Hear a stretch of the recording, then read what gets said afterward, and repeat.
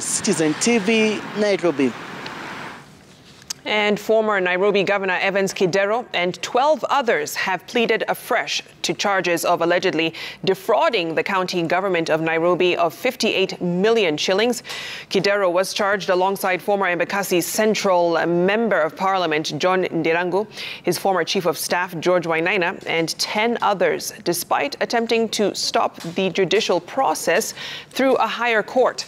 The 13 denied 15 economic crimes related charges leveled against them Hassan Mugambi with the details.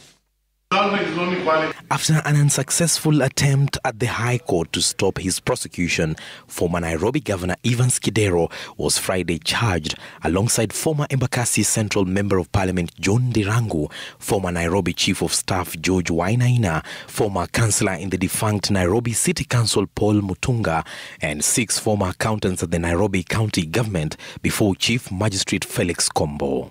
All the accused persons denied 12 counts of corruption related offences linked to the alleged plunder of 58 million shillings at City Hall, Nairobi. The former accountants Nganga Mungai Nganga, Ekaya Alumasi Gonzu, James Mimi Mbugwa, Elizabeth Wanjiru Nderitu, and Alice Nieri Mundia were accused of using their office to improperly confer a benefit of 58 million Kenya shillings on Wachira Mburu Mwangi and company company advocates. John Ndirangu was charged with unlawful acquisition of 8.9 million Kenya shillings from now deceased Stephen Kariuki Mburu, a partner with Wachira's law firm. These monies, according to the prosecution, were part of 58 million Kenya shillings unlawfully paid by the county. The offences are said to have been committed in 2014.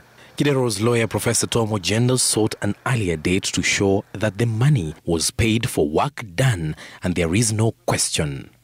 The matter will be mentioned on the 6th of October this year. Hassan Mugambi, Citizen TV. Now, the Federation of Kenya Employers has criticized